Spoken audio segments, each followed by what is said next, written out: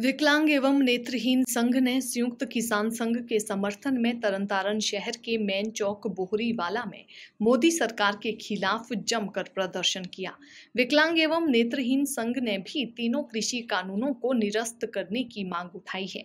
तीनों कृषि कानूनों को निरस्त करने के लिए देशव्यापी बंद के आह्वान के समर्थन में विकलांग संघ ने जोरदार धरना दिया और किसान आंदोलन को सही करार दिया संघ ने जल्द से जल्द कृषि कानूनों को निरस्त करने की मांग उठाई है ਸੰਯੁਕਤ ਕਿਸਾਨ ਮੋਰਚੇ ਨੂੰ ਅੱਜ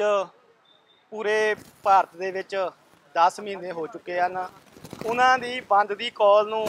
ਆਂਗੀ ਅਤੇ ਬਲਾਈਂਡ ਯੂਨੀਅਨ ਪੰਜਾਬ ਵੱਲੋਂ ਸਿਰ ਮੱਥੇ ਤੇ ਪਹਿਲਾਂ ਵੀ ਜੋ ਵੀ ਉੱਪਰੋਂ ਹੁਕਮ ਆਉਂਦੇ ਆ, ਉਹਨੂੰ ਸਿਰ ਮੱਥੇ ਪ੍ਰਵਾਨ ਕਰਦੇ ਹੋਏ ਅੱਜ ਆਂਗੀ ਅਤੇ ਬਲਾਈਂਡ ਯੂਨੀਅਨ ਪੰਜਾਬ ਵੱਲੋਂ ਉਹਨਾਂ ਦੇ ਸਮਰਥਨ ਦੇ ਵਿੱਚ ਇੱਥੇ ਅੱਜ ਇਹ ਰੋਸ ਰੈਲੀ ਔਰ ਸਮਰਥਨ ਕਰ ਰਹੇ ਆ।